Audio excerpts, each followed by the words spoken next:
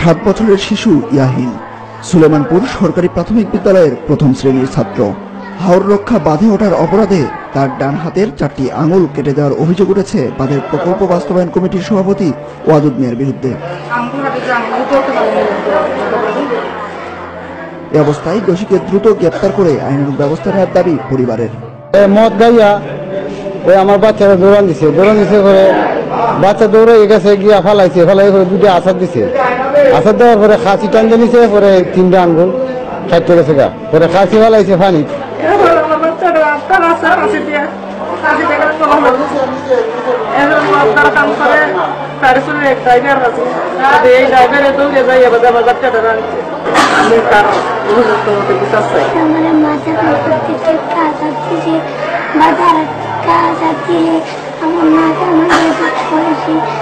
সুষ্ঠু তদন্তের মাধ্যমে অভিযুক্ত ব্যক্তিকে আইনের আওতায় আনার দাবি জেলা শিশু বিষয়ক এই কর্মকর্তার।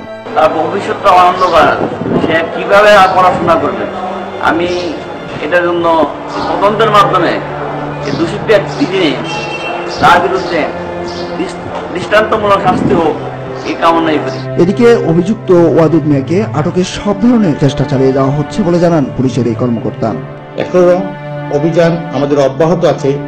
আশা করি এই আসামি অদুদ মিয়াকে আমরা ধৃত করতে সক্ষম হব। বর্তমানে আহত শিশুটি সুনামগঞ্জ সদর হাসপাতালে চিকিৎসাধীন আছে।